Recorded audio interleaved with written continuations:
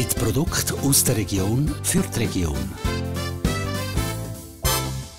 Grüezi miteinander. Kaffee hat so ein gutes Aroma, da kann man mehr machen, als den nur zu trinken. Heute zeige ich Ihnen ein Rezept, was mit dem Kaffee eine wunderbare Soße gibt.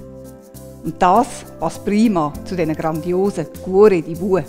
Das heisst übersetzt Ochsenherz. Das ist eben die Form und die Grösse dieser Tomaten. Es ist eine ganz speziell aromatische Tomate mit viel Fleisch und wenig Saft. Leider ist aber die Saison dieser Sorte nicht so lang. Der Tom Zurmühle von Hertenstein produziert mit viel Engagement und Erfahrung die wunderbaren Tomaten. Und das erst noch an einer traumhaften Lage. Pro Person nehme ich eine grosse Guore di Bue. Der fantastische Büffelmozzarella produziert Fritz Schneider in der Käsehütte zu Meyers Kappel. Da brauche ich zwei Becher. Den speziellen Öpfelbalsamico liefert Josef Bucher von Eschenbach.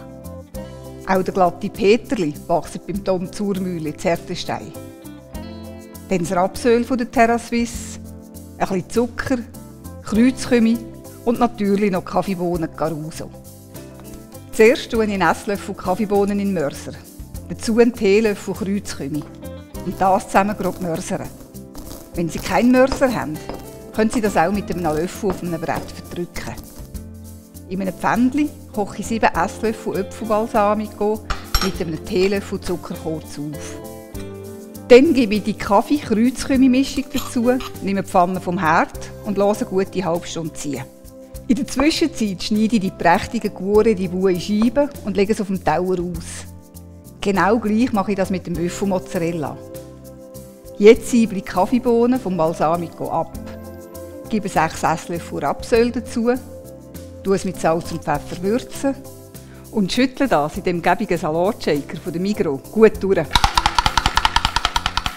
Tomaten und den Büffelmozzarella tue ich noch ein salzen, pfeffern und dann Kaffeesauce drüber träufeln.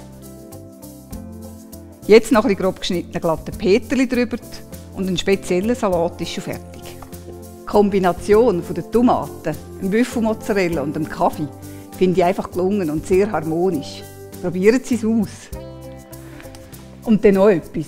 Sie können das natürlich auch mit anderen Tomaten machen. Einfach eine gute Fleischtomate. Aber mit der Cour di Bue finde ich es halt einfach am besten. Bis in einer Woche. Ade miteinander. Janet kocht. Mit Produkten aus der Region für die Region.